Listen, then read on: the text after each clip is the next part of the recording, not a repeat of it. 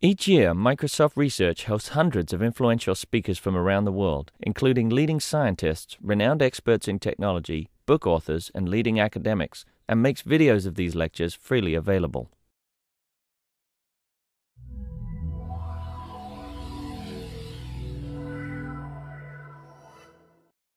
and get started.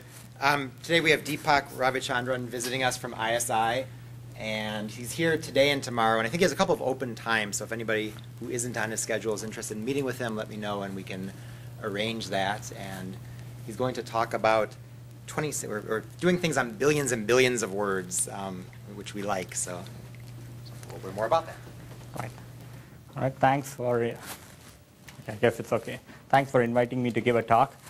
Uh, I guess it's easier to find out the guy who's giving the interview. He's the guy with the jacket. But I promise, if I get employed here and I work here, I won't wear this jacket regularly. and that's not my license plate, by the way. So when I first started, you know, a year and a half ago to start shopping around for a thesis topic, uh, one thing was, well, what should I work on? So this is roughly a year, year, and a half ago. This was the EMNLP 2004 announcement. For people who do not know what is EMNLP, it's, a, it's one of the famous conferences in natural language processing. It, start, it stands for Empirical Methods in Natural Language Processing. Uh, this is what the statement says. Corpus-based NLP has reached a stage of maturity where many competing models ha have reached comparable plateaus in performance merely reporting the aggregate accuracy or coverage percentages typically fails to uncover the model limitations that are fundamentally responsible for the plateaus. Now, what does this statement really mean? Does it mean that our, our corpus-based techniques hitting a plateau? Well, if, if that's the case, what are possible directions for future research? Uh, I basically came up with three directions for future research, but people could think of tons of them. And uh, everybody has their own list, and it's highly possible my list is different from other people here. So I came up with three, three directions. One was enriching feature functions. Uh, the area, at least in NLP, where people are lagging, I thought was in the area of semi, semi-supervised and unsupervised techniques. And the third one was working with more data. Well, I decided, well, let's work on all the three problems. So this is the talk, talk, talk outline. I'm going to be talking about fa fast noun clustering. And, and then I'm going to be talking about extracting is a relation from text. But the ideas here are so general that they could be used for other relations. And then I'm going to do some talk about evaluations and finally conclude my talk. So first about fast noun clustering.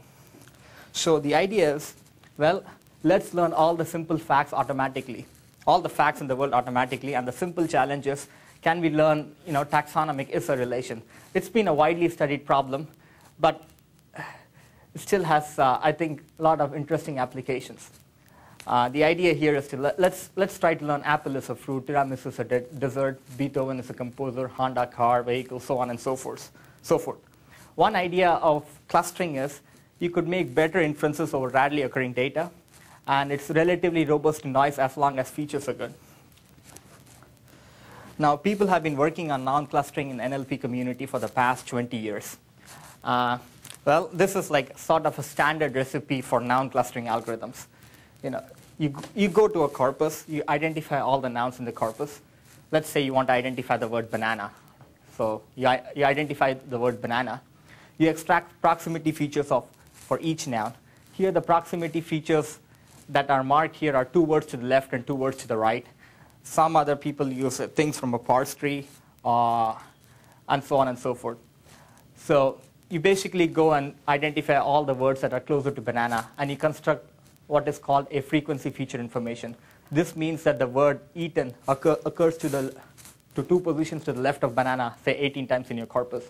Uh, or the word A, one, left to, one position to the left of banana 21 times in your corpus. And you basically go and build such an information for every noun in your collection. Having done that, you convert these frequency values into either TF, IDF, or mutual information values. So here the word eaten.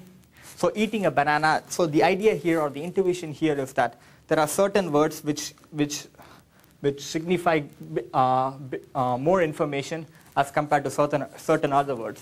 So the idea here is that the word eaten two words to the left of banana, like eating a banana is probably more important than, than the word a. So it has a lower score, whereas eaten has a higher score. And in the next step, so in this process, you, you make a frequency vector, sorry, a feature vector out of every noun in your collection. So, you have, so every noun in your collection is now represented by a vector whose features, whose features are represented by this. Having done that, one has to calculate the similarity matrix between every pair of vectors. And you can use, uh, people generally use cosine similarity. There are few, few people who also use Jaccard similarity. And then in the end, you apply one of these standard clustering algorithms to get the output.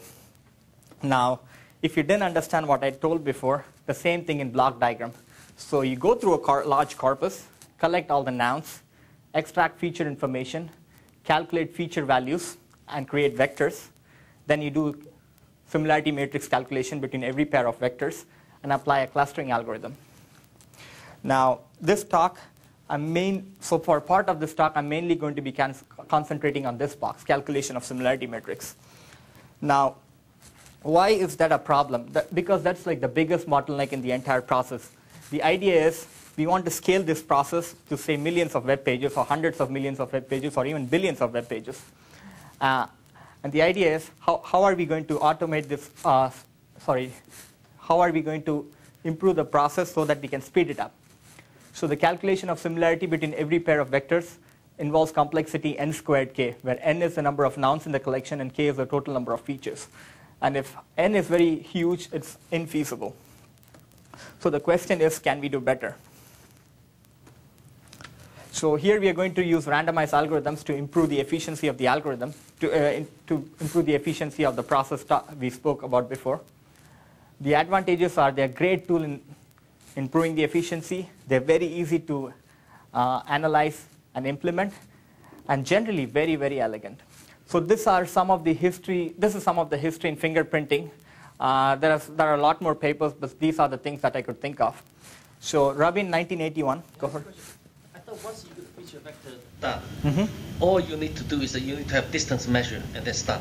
So what do you need to have a matrix? No, you need to have a distance between every pair of vectors so that you know which is the nearest neighbor for a given vector when you do the clustering algorithm. Okay, suppose you use the Euclidean distance or some, you know, Malham distance. Once you define the distance, it's already, you can do clustering. No, no, if you define the distance, yep. then you have to calculate the distance between every pair of vectors.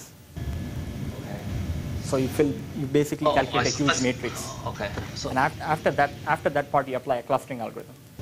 So, so what, what's the similarity matrix? This similarity matrix is a distance matrix. So similarity is basically, you, cosine is a similarity measure because higher the value, the closer they are. And distance measure is the lower the value, the closer they are. So it's, it's kind of analogous.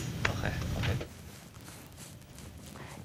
Uh, so Rabin in 1981 used fingerprinting algorithm. Here the idea was uh, to define a hash function such that two dissimilar strings will hash onto the same value uh, and with a, with a very small probability of collision. And uh, Broder in 1997, they, they used locality sensitive hashing to eliminate duplicate uh, to eliminate duplicate web pages when you, when you search for something on the web. It's estimated that uh, one third of the web is like a duplicate of the other one third. So this is very critical for getting better statistics. And there, there are tons of other papers by Indyk, Motwani, Charikar, and others. So our goal is to reduce the complexity of n squared from n squared k. Now this is like basic revision of cosine similarity. This is probably like first year college.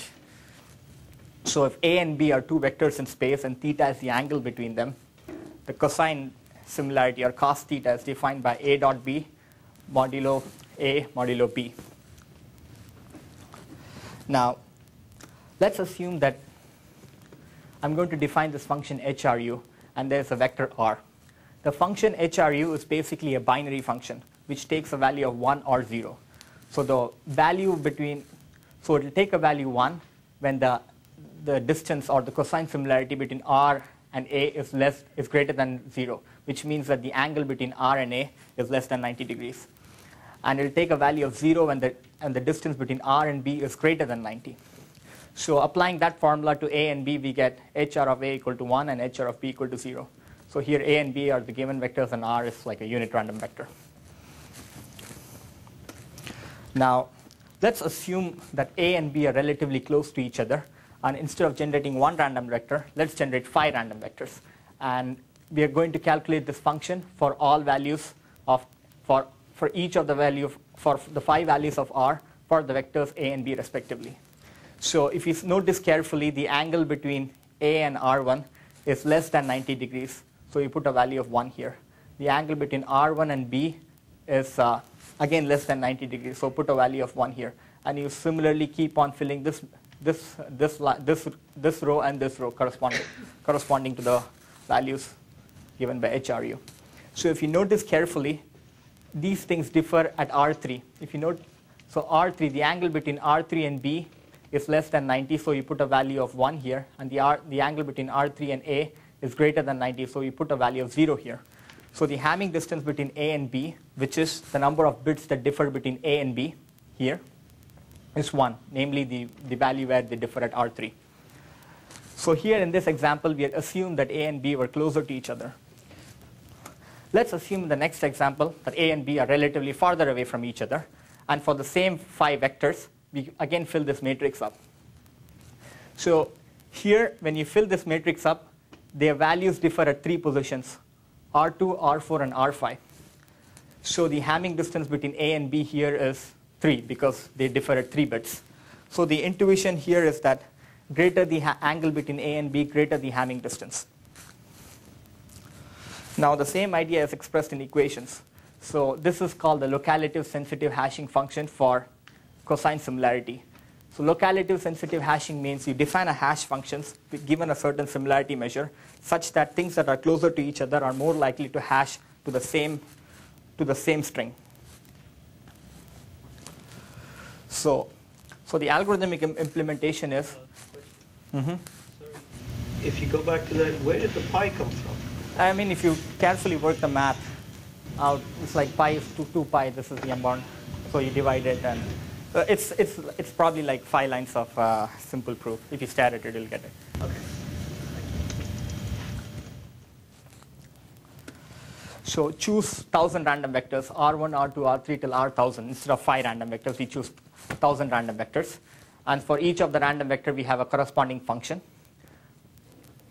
And for each of the vector in your collection, which, are repre which represents a noun, you apply this function HR, so you get a, you basically get a binary bit stream. So this binary bit stream of A, B, and C could be considered as fingerprints of A, B, and C. So the entire problem, the locality sensitive function that I described in the previous page, converts the problem of finding cosine distance into that of Hamming distance. So there are two big advantages of this approach. One is there's a huge dimensionality reduction. In our experiments, this, so initially we had a, a million matrix, million float matrix. We somehow convert that into a thousand binary matrix, binary vector, sorry. N is actually the number of nouns. So how do you know one million nouns in the language? So uh, in the experiments, we had one million. So it also includes noun phrases, common nouns, proper nouns, everything. So United States of America would be one noun. America would be another noun. So we had like seven, 600K in our initial collection. Okay, but now the second question I have is, you get that dimensionality reduction in the first step, but then you have to actually do exactly. compare on each of those exactly. I haven't done that. Okay. Right. That's a good question. So, and the other thing is it's memory efficient. So each vector could be represented by, say, a 1,000-bit stream, which is like 32 bytes. Go. Sure. When you say 1,000 random vectors, are they actually random? Yeah, they are random. So you don't pick like uh, one of the nouns and pick the properties of that. You just like completely. So random. they could be completely outside the exactly. domain of the. Exactly. Yeah. The only thing you calculate is 90 degrees or less than 90 degrees, greater than 90 or less than 90. So I carefully skipped how to generate a random vector. There's a, there's a good amount of literature on how to generate a random vector. This is the famous Box-Muller transformation. This was studied in 1950s. So to generate a k-dimensional unit random vector, you basically start using a k independent samplings of a Gaussian func function with mean 0 and variance 1. Variance 1. And uh, this, this formula gives a random vector for linear random generators x1 and x2. So if x1 and x2 are two linear, linear random generators, y1 and y2 are two Gaussian random variables. So the story so far is, so for locality sensitive hashing for cosine similarity, we start out with a large collection of vectors, which each vector represented, representing a noun. We generate 1,000 random vectors. We represent each vector by a 1,000 bit stream using the function HRU.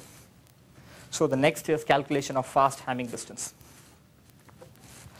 So many people, there have been a lot of work on calculation of fast Hamming distance. Uh, there's this algorithm PLEB, point location by equal balls by Indyk and Motwani, and there's an improved implementation in this paper. So the procedure, I'm going to briefly describe the procedure. There's like a pictorial representation in the next page, in the next slide. So you randomly permute bit streams of each vector, sort the vectors lexicographically, search for nearest neighbors, and repeat this process, say, 1,000 times.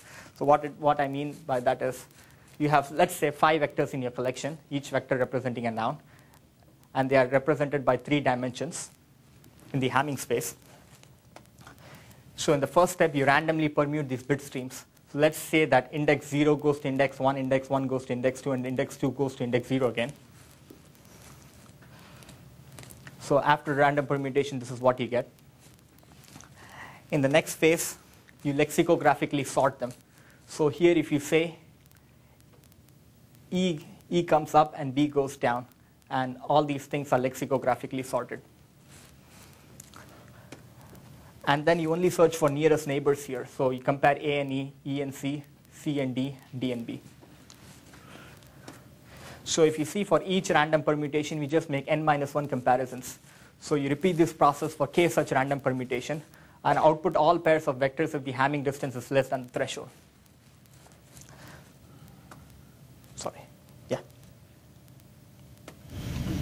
So how do you generate a random permutation? This is a formula that approximates random permutation, ax plus b mod p, where a and b, a and b are integers and p is a prime number. And uh, these are the constraints for a and b. The thing to note here is that a and b could be generated from a linear random generator. So the story so far is, you know, for locality sensitive hashing for cosine similarity, we start out with a large collection of vectors we generate 1,000 random vectors, represent each vector by a 1,000 bit stream. This is like the old story. The new story is randomly permute the bit stream for each vector. For each permutation, sort the vectors lexicographically. Then you search only for nearest neighbors. And at every comparison, if the, if the pair is less, if the Hamming distance is less than the threshold, output those pairs. Sorry, when you say nearest neighbors, you mean just immediate neighbors? Yeah, immediate neighbors. Why don't you look at like say two apart? If I mean if they're very close. I mean they are not still... the nearest neighbors, right?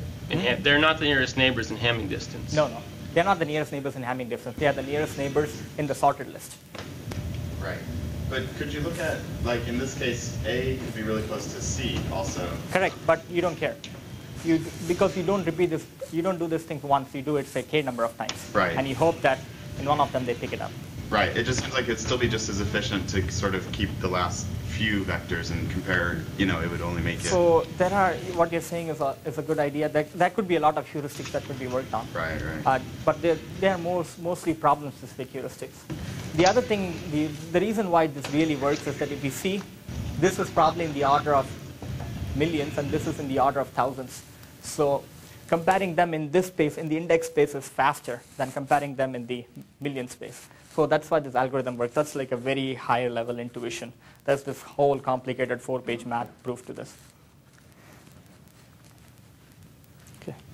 Uh, sorry, just for Matt's question, so if you did take you know, plus or minus 2 from where you are, it doesn't change It doesn't change. So actually I do plus minus 5, plus minus 100. I experimented a lot. Okay. So this is like the higher level overview, yeah. In fact, you don't even do, so sometimes you can even say if only the first few bits are the same. So you can see if uh, 0 and 0 are the same, and you can even hash them. So you can only think, uh, think only search for things which hash to the same first few ind indices.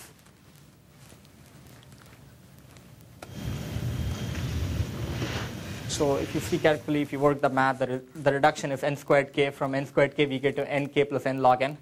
But then normally for NLP problems, this is the biggest limiting factor. k is million, n is million, so this is a smaller number. effectively it's NK. Maybe you can tell us, what is the bound on how bad this can be? How, Uh, this can be, so, I mean, there are- accuracy versus best. so the thing is, the, the worst thing would be if all the vectors are uh, equally distributed. No, sorry, all the vectors are, are, are exactly are at the same point. So the feature representation is the same for all the vectors. In that case, this algorithm would just do miserably. Is the, the thousand in your big O um, analysis, is the thousand a constant then? It's not in- included in there? Which one? Yeah, thousand a constant. Okay, so is there a, I was just curious, is there a way to compute the Hamming distance? So essentially to compute the Hamming distance, you're looking one bit at a time, right? Kind of shifting. Is there a way to compute the Hamming distance efficiently that sort of compares, you know, uses the machine like 32 bits at a time or something? Is there a way to do So that? So I basically represented each by an integer. So even for the comparison, I mean internally you represent it by bit stream and do like an XOR kind of thing. Okay, But uh, that's like more like a low-level implementation Yeah. issue. right. Yeah, that's right. And you could you could actually borrow a lot of engineering from Hamming distance literature when you when you when you want to work on it. Act- Actually, I didn't even do a lot of work on it, but uh, uh, but I, I could probably do a year worth of work just on doing it efficiently. Okay. So you know, I had to test this idea out. So I collected a large corpus, and how do you collect it? I just went and down, set up a spider to download roughly 70 million pages. So I had a three terabyte disk space that, that my advisor was kind enough to buy it for me, and uh, I decided I'll download things for one terabyte and use the other two terabytes of scratch scratch uh, scratch space. Go for it. One question for the previous, for the, the, the order of the algorithm. Actually, so you were saying that you're working with 1 million, you needed 1,000 new vectors. So that's a log there, basically. So, I mean, it's NK and... Sorry, I take it. Okay. So I initially used the 4 million links from DMOZ as initial seed. This was probably the hardest. This slide is just one, one slide, but it probably took like four or five months of work. Uh, then I had to sit and identify all the language, so I used one of, one of these off-the-shelf softwares. Then tokenize and segment into pages. That was problematic because all these tables, sometimes each column was represented as a separate sentence, uh, or all the, all the entries in the table were in one sentence. So I just used some simple heuristics like a sentence should be between 3 and 40 words. Uh, and then the next one was elimination of duplicate web pages. I implemented the solution given in this paper. Uh, I roughly found out a third of the page was a duplicate or a near duplicate of the other. Uh, so again, this, this, this system again uses signatures to reduce the complexity of the problem from n squared k to nk, and in the end apply a pornography filter since we wanted a PG-13 13 version of our results. And I didn't do any research here. So these are some corpus statistics. So the corpus size was 26 billion words. Uh, so final, I started off the terabyte, but I could only use 116 gigabytes for research because rest of the things were HTML tags, non-English pages, duplicates, porn, and stuff like that. Uh, number of web pages came down to 31 million from 70 million. Uh, I cut off the number of nouns to be roughly 700k. Uh, so I, uh, what I did here was I basically put a frequency cutoff. So I took all nouns that occurred at least 100 times in your corpus. And uh, this was a feature size, roughly 1.3 million, by looking at two words to the left, two words to the right. Uh, and I read some paper after I implemented that you can just take two words to the left and one word to the right, and you still get the same results. Uh, and I use mutual information values for feature values, and uh, a lot of displays, a lot of counting. And, and for doing another benchmark experiment, I used a smaller newspaper corpus. Uh, this is the standard TREC 9 and TREC 2002 collection, widely available in the community. It basically contains uh, LA Times, Wall Street Journal, that kind of corpus. Uh, I parsed the corpus with Minipar so that I could compare the results with someone else who did the same experiment but, but used a standard procedure. And these are the corpus statistics. So there was one minor difference between the two ways I, I processed the corpus. In this thing, I used uh, features from a dependency tree, but our, our eyeballing experiment seems to su- suggest that for large corpus, even using a dependency tree doesn't help. just it's just good enough to use two words to the left and two words to the right, and you still get the same results. So for a, for a sentence, John found a solution to the problem. The features for find would be it has a subject John and an object solution, and uh, the feature for John would be that it is a subject of find. Uh-huh. You said if you look at 650,000 nouns that uh, occurred more than 100 times, do you know how many nouns in these 1 billion words occurred less than 100 times? Less than 100. So I think I didn't count it because uh, it was roughly 120 gigs unique. No, no, no, not 120 gigs. I'm sorry. Uh, it was 8 gigs roughly unique. So I would, it's probably in the order of uh, close to a between 10 and 20 million. I'm not. I'm, I'm, I'm. I normally take out things that occur only once. Right. So And there are like all junk words too, so these aren't exactly nouns. So these are words that the, the noun phrase identified identified and thought were nouns. So about 90% of the nouns, basically, Yeah. less than 100 or more. Yeah. So the evaluation for this part, we do three kinds of evaluation. One is the performance of stage one of the algorithm, that is locality sensitive hashing. Uh, the performance of the second part, that is the fast Hamming distance, and the quality of final similarity list, that is using the benchmark, uh, the newspaper corpus. The first two things are evaluated on the web corpus. So for uh, evaluating locality of sensitive hashing, we choose 100 random vectors, each representing nouns. We calculate the cosine distance for each, for each of the vector with all the other vectors using two, two techniques. One is the gold standard technique, which is the traditional technique, and the second one is the randomized technique, which was described in this, in this talk. And then calculate the mean squared error using this formula. So these are the results that you get. So if you generate one random vector, you almost have 100% error. Whereas if you generate 10,000 random vectors, you only have 1.5% error. And these are the amount of, this is the amount of time taken to calculate it. So What does error mean here? So error means uh, how much your, the, uh, the estimate of cosine similarity that your algorithm proposes deviates from the standard, from the gold standard, which was done using traditional technique. Oh.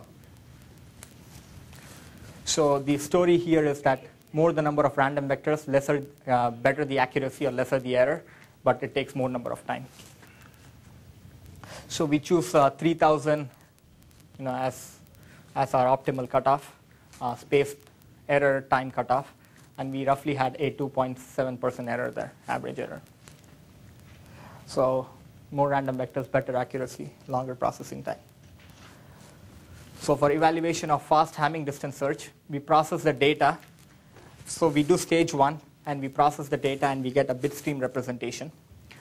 And then we repeat the same process. We again uh, randomly choose 100 vectors, and for each of these random vectors, we calculate its nearest neighbors using two techniques. One is this randomized technique de- described here, and the gold standard is the traditional technique where you manually calculate the distance between every pair of. Uh, not, Why choose just run 100 non-vectors? Wouldn't your numbers change dramatically if you chose 10,000 non-vectors? no, no, no, no, no.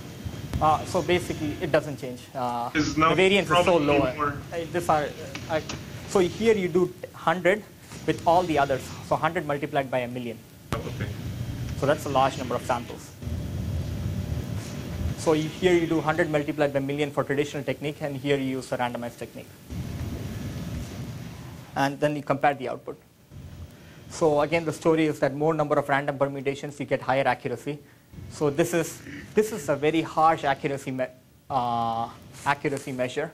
So here, what we did was uh, we started off and we calculated the nearest neighbor using the traditional technique, and then calculated what was the overlap of it with the with the technique with the randomized technique, and we rough, roughly able to get 70 or 80 percent of the list. So the results are actually better than what they look because if there are things towards the end of the nearest end neighbors, they may still be good, but our system penalizes them harshly.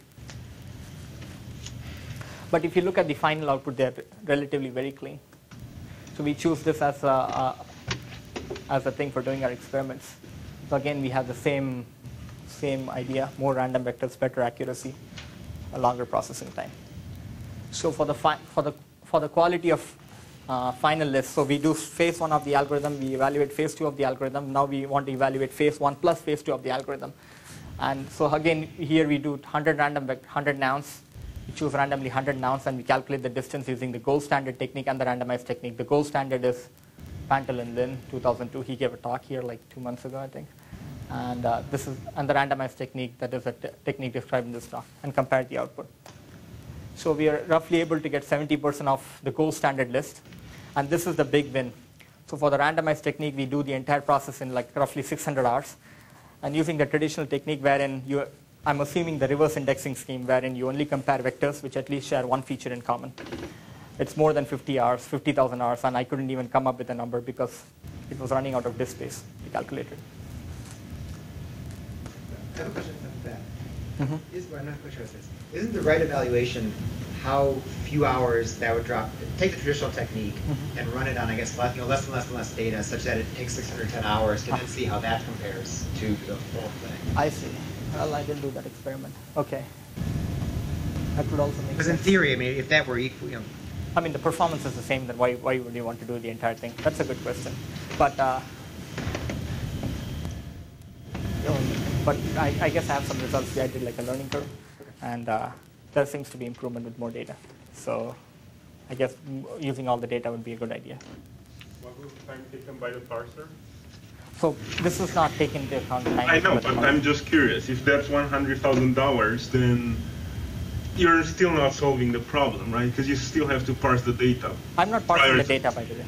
For the uh, for the web corpus, I'm not parsing it. Okay just for the newspaper corpus, I parsed it so that I could compare it because he had the list and he did it using this technique. And I didn't parse in principle because it's not web scalable. I just used two words to the left and one word to the two words to the right. So looking back, why do these algorithms work? So I was thinking, is there like an intuitive way to explain it? So this is one, one sentence I thought was, was a good way to explain how things work. So if there is a way to approximate a complicated random functions using, using random generators in linear time instead of exponential time, then a random solution, then, then we have a random solution. If the above is not possible, then a random solution is not possible. I, hope I didn't miss this. Um, can you go back a slide? Okay, so here you're uh, here you're showing the similarity of the lit of with this, your randomized technique to a gold standard technique? On, on a smaller newspaper corpus. On a smaller newspaper corpus. Now, if, and, and which gold standard technique did you choose? So this uh, this one by. Uh, yeah. Okay, but uh, which does that? They basically did every pair and. Okay, anyway, so so typically clustering algorithms end up with. Um, you know, they have some sort of random randomizations. You know, you, you pick some random starting points or something, and if you run it twice, you get different results. So this you is ever... a similarity list. Similarity list is entirely deterministic. So it's this is the input to the clustering, not the output. So all you, wait, I'm sorry. So all you're showing me is how similar two vectors are. No, the and nearest and neighbors of two vectors. Uh, nearest and neighbors of two different systems. The nearest and neighbors. Okay, but and they are like the input to the clustering system. So this is going to be so this is to be the step before we do the yeah. clustering. Uh, yes, okay. Sorry, no, that's okay. No, no, you don't have to go way back. This one slide, I, I think. I, this one. Yeah, I get it.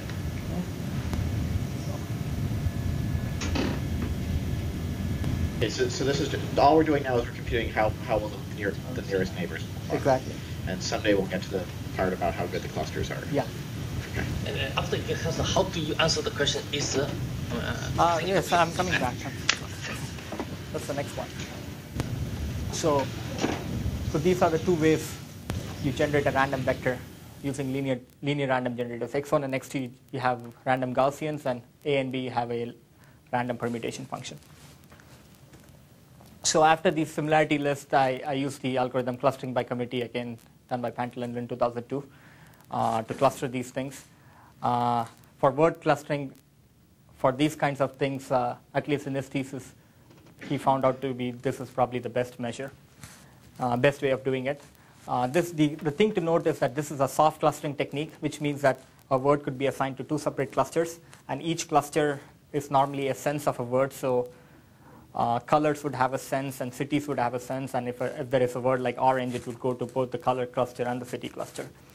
And uh, this is also the, the density of the cluster is constant. So you assume uniform density across all clusters, which is, which is what is assumed here, which may not always be the most uh, uh, nor sanest assumption.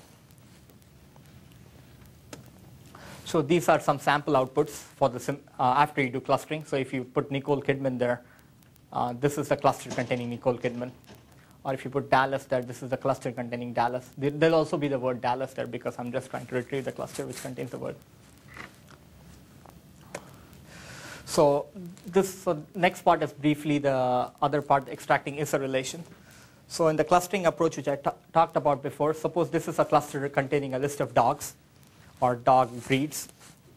So you can find out, suppose in your corpus it says dog, Pomeranian or dog, so you can you know from that pattern that dog, Pomeranian is a dog, or Dachshund is a dog, or Doberman is a dog. So you can all you can probably say the entire thing is a dog. The entire cluster re represents dog, and that's how you induce a relation. And second is you know the traditional pattern-based approach, where the, people have studied that patterns like these are very good indicators of is a relation. So if you have a common noun followed by a proper noun, it's more likely that George Bush is a president. You, you find the is a relation. There are some of, some of these patterns, and there are ways of learning these patterns automatically. By this, by the way, this is an adverb. Uh, so you can also use this technique to get lists list like that. So you can get a list of colors, list of desserts, list of airlines, actresses, African countries, and so on and so forth. So the thing to note is that the clustering techniques makes use of global co-occurrence statistics, whereas the pattern technique just makes use of local information in assigning assert relations. Now, our challenge is, so we decided maybe we should use both these ideas and for, a, for a hybrid approach. So that's the idea. The pattern-based approach exploits local features, and the clustering-based approach uh, combines exploits global features. So we basically use a simple rule-based systems and experimented with a lot of values uh, to combine to combine these two systems. The one reason we did it was uh, we didn't have enough data to set our parameters, so we decided to do it by hand. So this is the thing maybe I need to improve on. So evaluation. So now we have three systems, a clustering-based is a relation uh, kind of thing, a pattern-based approach, and a hybrid approach. And now we evaluate. So evaluations are basically done on two measures, precision and recall. So this is the precision of uh, the, the, three approaches. So we had uh, we have we have three different measures. One is uh, a strict measure where your answer is completely correct and a linear measure where your answer is partially correct. And this is top one and top three. So if you see for a strict measure, we roughly get like 60 or 70 percent around 70 percent accuracy with the hybrid system. And uh, for the linear system, we get like 95 percent accuracy with top three. So there is some scope of improvement. The, the only problem with this evaluation is that it has to be done manually. So it's just so expensive to redo it again that uh, if you set one parameter, you have to again redo all these sets of uh, experiments again evaluations again. So this is the precision. And uh, these are the number of relations that are extracted. So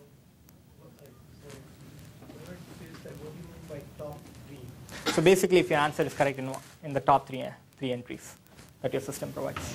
Your system is providing the for, for a given for a given uh, you know if you have a uh, if you have a tag say not if you have a tag say Pomeranian and your system says dog or breed or something like that. So your system gives you.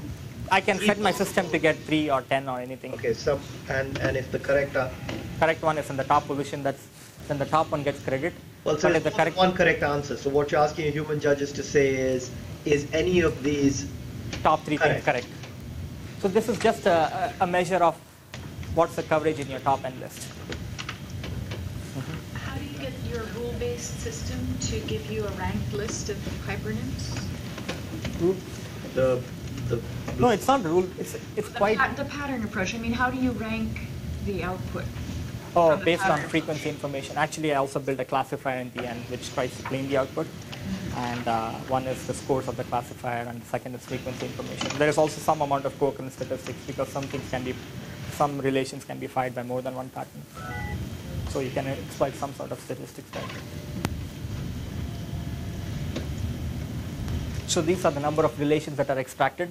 So if you see clearly that, so I had one, I worked with 116 gigabytes of data, but if this, see, this curve seems linear, at least in the number of relations extracted. Which, this doesn't give you the indication that the relations extracted may be useful or something like that. So we try to have annotators annotate the data, just assign categories to each noun previous to seeing your three candidates, just to see if there's any agreement, because this is very optimistic, right? Right. I see three. No, so we had we, we had a paper last year in NAACL. So we, the agreement is uh, the kappa is 0.8, something like that. Okay. So so it's not in the high. So it's like uh, you could make uh, conclusions, tentative conclusions. But the, the other idea is that I was consistent. So the annotators were consistent across all systems. So in a sense, the things improve, but I guess it could go between 60% and 100% anywhere. But this is still post-evaluation. I was asking if you were to give the data to evaluators beforehand, Mhm. before showing the output, Mhm. to see what the agreement is in that case. Once you give me a breed of dog, would I say breed of dog as the class? Or, right, so Oh, I see, I see. I'm going yeah. to choose one of them and say, yeah, that kind of matches. I see. Okay. So yeah, I didn't do that. That's right. That's a good point. So, so to evaluate record, it's very hard to evaluate. So we decided let's let's try out something ran, some something ran, that is random in the out there, and let's see if our system is able to do it. If if, if our system is able to get it correct. One thing was uh, thing that we call Google News. That is in the sec- in the news sections. I'll talk about it later, uh, which we try to label them automatically. Then there is this information retrieval for a QA system, and then we had the TREC QA, what is who is X type of questions. So I'll talk about these things. So one is in Google News. If you if you look at Google News, uh, there is this in the news section of Google News, which is auto. I I think it's automatically done. So what we try is that we try to label these things automatically by our list that, that we create. And uh, we ask human judges to say if they are correct or incorrect, and we try to evaluate them. Uh, and for us, for this case, the baseline here is uh, WordNet, because that's one of the openly available lists.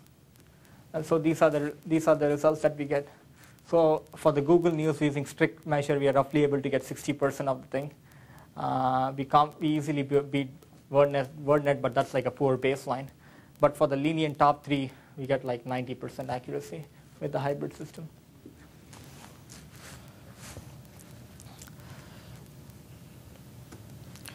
So the second thing is what I call IR for QA systems. So the way most of the QA systems work is that they have an information retrieval component to it, and then on top of it they have a answer matching mo- module. The reason for having this two two system architecture is uh, the the answer matching component is generally very computer intensive. So ideally you want to only give it promising passages. So if you have a question, what X is Y, which is the format, what city is Disneyland in, or what country did Catherine the Great rule? So the baseline query normally that you would give, to a question answering system so that it does IR for your matcher to work on would be uh, you know, Disneyland and Catherine the Great. But, but since we have these huge lists, maybe we can do some sort of query expansion. We can expand the list of cities from the city list that we already have and the list of countries from the country list that we already have and expand the query and give it to the search engine. And uh, so we can do the semantic query based on this pattern-based system, clustering-based system, and the hybrid system. And the baseline would be when, when this query expansion is not done. So in the total number of answers retrieved in the top n, n documents, we see some, some minor improvements using this kind of thing. I, I was actually surprised to see even any improvement here. I didn't quite understand. What is, you go back to the last. Mhm. The input is what city is Disneyland in, and you're doing it, you're changing it into a different query, which is. Disneyland. This is normally the query which people normally issue, but you could also do more specific queries. But now, since we have these huge lists, we can issue, probably Anaheim is also there. So you also go and index all the cities in your collect- collection.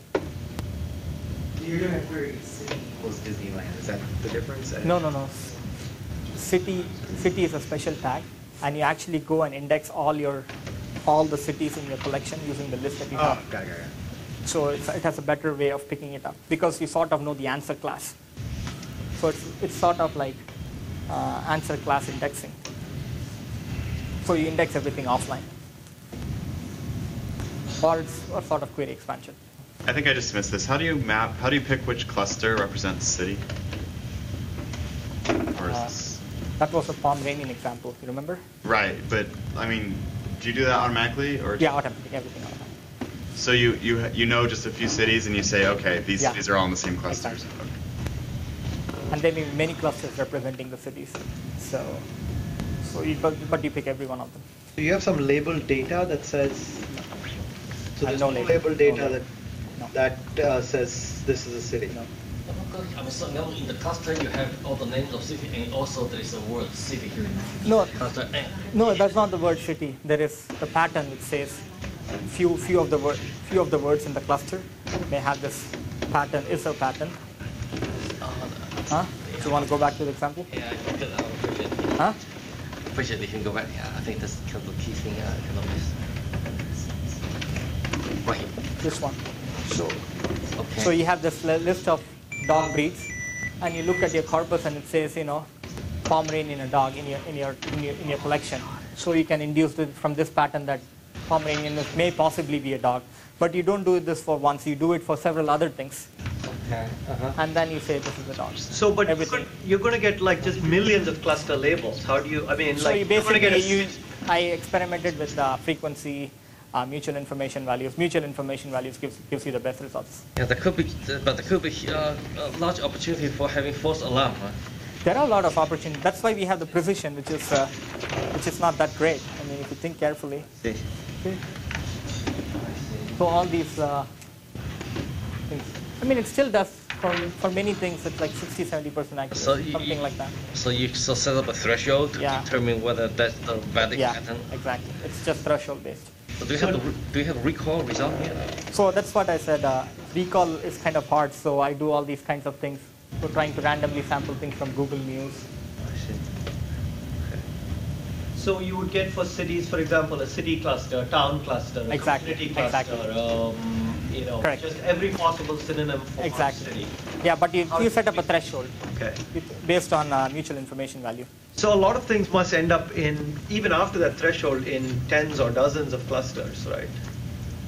I, I mean, depends on how tightly you set up the threshold. Yeah, I mean, Like how I- many how many uh, clusters do you have, for example, that are? I had like 4,000 clusters overall, between 4,000 and 5,000 clusters. And each cluster I assigned at most three labels. And so that was 4,000 multiplied by 3, multiplied by all the elements in it. So sometimes a city cluster may have three different, city may belong to three separate clusters. And you name each of them individually. And then, but you consolidate them in the end.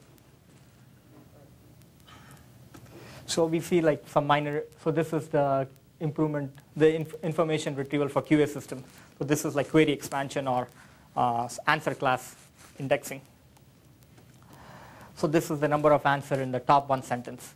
Uh, the basically the same measure, but only the first sentence. The first, if, the, if your IR system was was uh, was told to retrieve only the first sentence, uh, you would get you would probably get like 25% improvement uh, relative. And the other one was uh, there is this uh, question answering community which conducts competition every year. So we took out the data set from 2003 and 2004 and tried of all the questions that were of the format who is X, what is X, and try to assign ISA labels using the thing that we already have. And uh, for, the, for this technique, the, uh, the baseline was WordNet. And uh, these are the results that we got. So we roughly get like between 60 to 80 percent uh, recall accuracy on, on all these questions. This is one data set, 2003, and uh, this is the other data set, 2004. Sorry, if you, if you already explained it, what is the difference between strict and lenient? So strict is, uh, your answer is definitely right, uh, as given by human. And lenient is, uh, it's somewhat right, partially right. So there are, uh, it may, it may go either way. So uh, can you give an example of what, what that could be? I Uh, mean, what were the so instructions something that you uh, evaluators? I guess we had, so we, we, we had some training to the human and uh, we, we did, okay, let me give you an example. If, if the word, uh, so if Aga Khan, so let's see. Me see an example. Lenient there, right? Hmm? In your example, Prince is lenient because it doesn't say Prince of what. Right. Uh, I mean, that should be the exact answer. If you say who George Bush is president. So no, president would be a correct answer, but uh, some cases, uh, let me think of cases. Uh, oh, I can't remember now.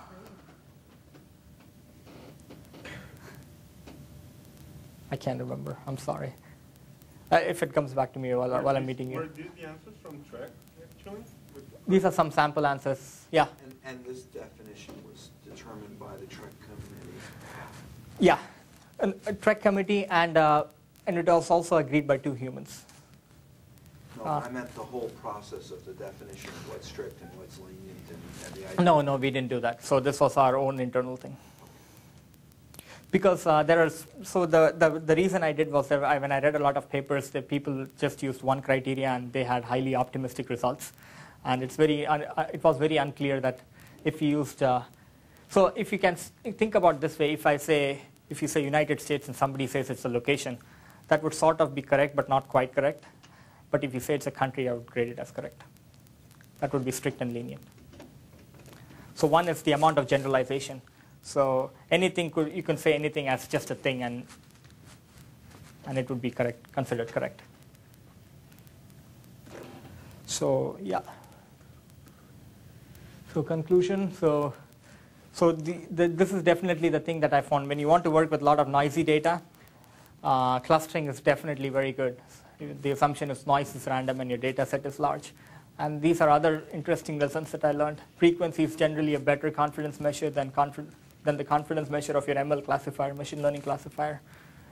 And uh, so there are some, so I have some ideas on how to extend these kinds of things to, to learn more relations from text, even for the clustering system, like author book kind of relation. So you can do clustering between every pair of nouns instead of just one noun. So we have a highly scalable framework for, for learning relations from text. And there's nothing called too much data. Thank you.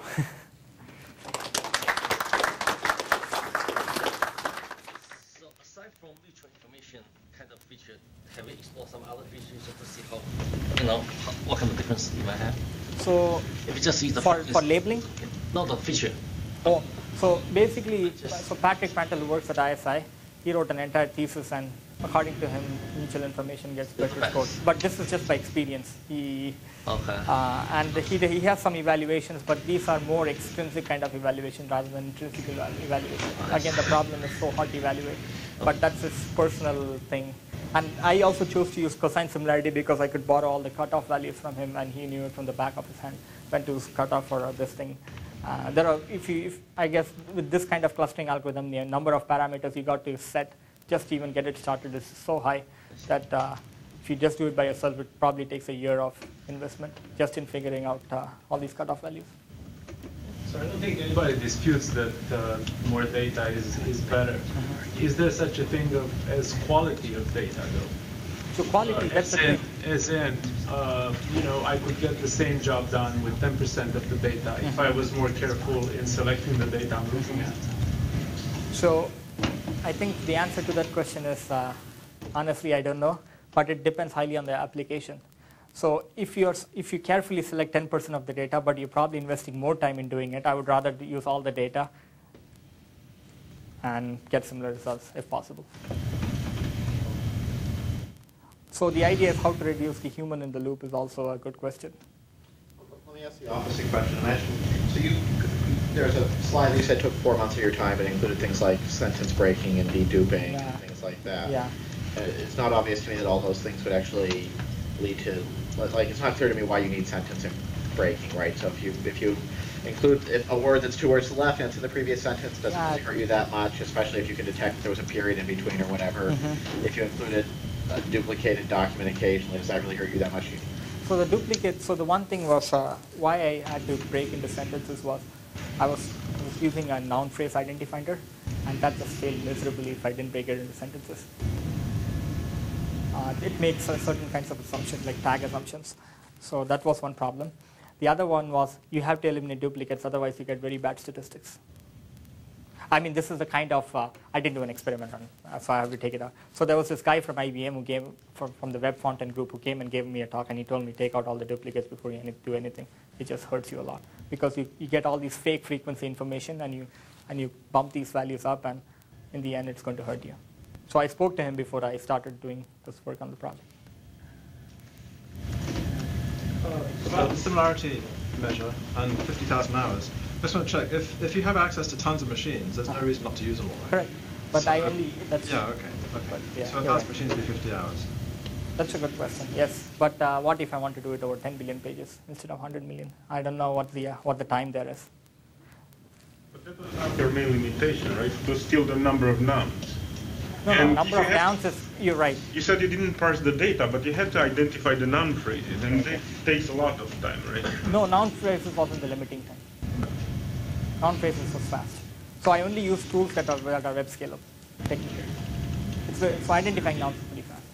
Cynthia, I think you have a very uh, couple of orders of magnitude of estimation of what how long a parser takes. For example, you threw out 100,000 hours in your earlier question, and we do 2 million words an hour. So, I mean, you might a parser might still not help you, but you should have the facts. Right. So 500 hours will do the whole billion words, which is you know comparable to the rest of Hollis processing.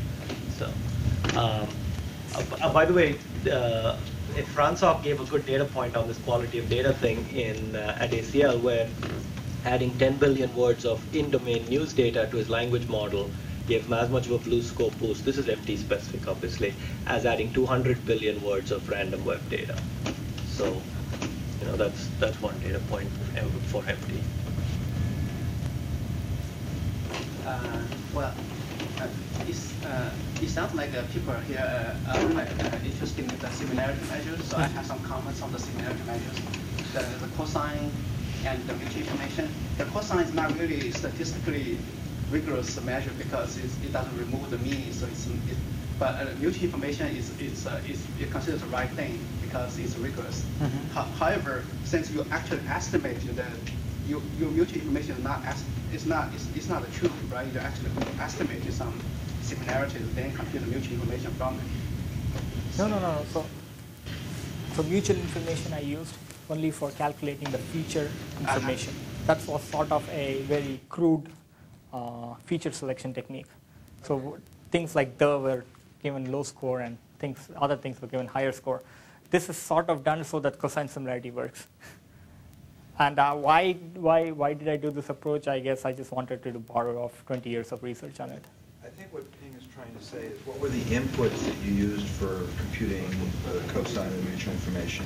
And he's saying they weren't the exact values, they were based on estimates, based on the random. Yeah, yeah. algorithms. Yeah, so And then what I think he's trying to say is that you need to do some adjustments because of that. Yeah, so that's a, that's a little problem. I said, you, you actually, your, your, your estimation is an angle, it's not the cosine, right? It's an angle. Yeah, that's cosine. Because cos theta is the angle and that's Well, cosine similarity. yeah, there, uh, there's a little problem with that angle thing because the cosine function is like a highly nonlinear function. Right. Yeah. And uh, well, in, in the major portion of the, of the angle is is is approximately linear. So so the estimation could be correct. Could be So okay. I disagree with that because this is, uh, if you actually carefully work out the math, uh, it's pretty good. No, no, No, no, you're, you're right. So you're saying the, the relation between theta and cos theta is not linear. Agree. Yeah. But- But, uh, but uh, what, what, what I say is uh, it's actually uh, it, uh, it's actually a good idea to, to use uh, to use a co- to use a cosine because the portion the, the, the major portion is actually positive linear to use a positive cosine functions. Uh, the problem with the mutual information is that it's, it's highly nonlinear. So there's some there's some some errors. You can just use the estimated value to compute the mutual information. That will We'll have a not. chance to talk about it. Yeah. Okay. I, I, maybe I missed. Did you ever directly look at the quality of your clusters versus from the exact algorithm, or did you only look at the, at the similarity between the, the nearest? So I sort of looked at it, but uh, I mean, it looked pretty good to me. I guess it's a very, uh, I didn't even do it. So hard to evaluate. I just looked at it and stared and stared at it for days. And, and I actually set up a website and I told people to randomly input data, to input data, and I looked at the output and I, so the thing was, this was worked on a newspaper corpus, which, sorry, on a web corpus, which was highly noisy. So towards the end, you would get a lot of things which you don't want to see. But that was probably because of the noise in the data rather than the noise in the clustering on. If you use, if you use a smaller data set, I mean, I mean, On the newspaper data set, it was pretty good, very close. Um, You, you had a lot of questions here about how many random permutations to do. And you could think of that as a question in, um, of sort of how big a sample do you need of some, of something? And, and another question along these lines is, do you need the same uniform sampling of everything? Or are there some cases where you need bigger samples and some cases where you like smaller samples? Do you have any way of implementing kind of variable sampling? rates? So the answer is no. The answer is no. And it's, it's a very hard problem to, in fact, even get, given a set, how to get the samples. It's, you might, the thing is, even determining that would itself be so complicated that you might even to the normal technique. So the other thing is, it's, uh, uh, what I wanted to say was the, there are some people, after I gave the talk somewhere, and they told me there are techniques on how to, because if you see carefully, all the vectors are in one, one quadrant. And maybe I should somehow take into account that thing and sample my things more efficiently so that uh, that is also taken into account. So I may even do it with lesser samples. But uh, I tried working with the math and it wasn't very clear to me because half of uh, uh, 90 degrees in a, in a dihedral space is not exactly 45. It's, the math is very, very more complicated. So uh, I actually wrote to the guy who, who, who developed this, uh, this uh, the, function, and I got no reply back from him. but I, I think that's one area that where I, where I would be very interested in working and taking a look at. okay, thank you. All right.